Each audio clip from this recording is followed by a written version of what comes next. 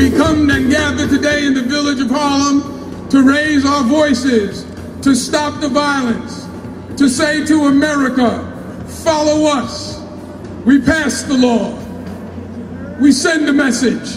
And we want the torch to be lit in every heart and in every community from coast to coast. We've been in battle before. And we come today united again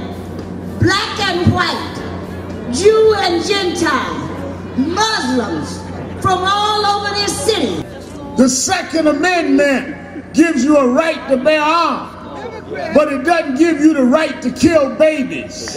It doesn't give you the right to bear any arms that you want. It doesn't give you the right to have automatic weapons that can fire and fire and fire. We must build a movement for a gun-free society. We're calling for an end to these guns in our community. Get the guns off the street because they're killing people. Innocent children being attacked in their own school. Where is the sense in that? Let me show you like kids.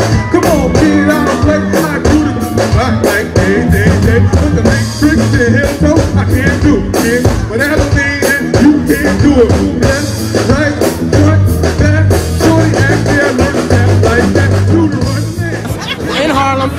in where we need to be, letting our folks know to join the fight, to get involved, pick up a phone, write a letter, knock on the door, walk with us, march with us, yell with us. We fight, we're taking our community back. Join the voices against gun violence and help us to please stop the violence.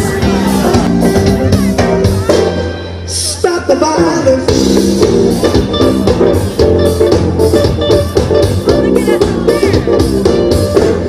Stop the violence.